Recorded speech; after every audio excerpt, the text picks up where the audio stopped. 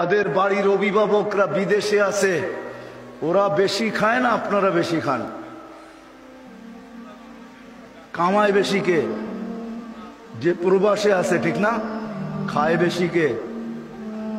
কে খায় বেশি? হুম? ওরা বেশি খায়? হ্যাঁ? ও তো কামায়, খাইতে দেয় না আল্লাহ। এটাই সিস্টেম কামাবে, খাইতে পারবে না। রাগ হয়ে যায় না। আমরা প্রবাসীকে থেকে বহুত কাছের থেকে দেখি। আমার কাজই তো হলো দুনিয়া ঘোরা। আমি গত মাসের তেইশ তারিখ আসছি আমেরিকা থেকে।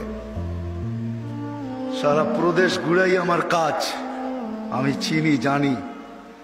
সারাদিন পরিশ্রম করে যখন আসে, তো পিঠটা বলে বিছনা দে, চোখটা বলে ঘুম দে, শরীরটা বলে আরাম দে।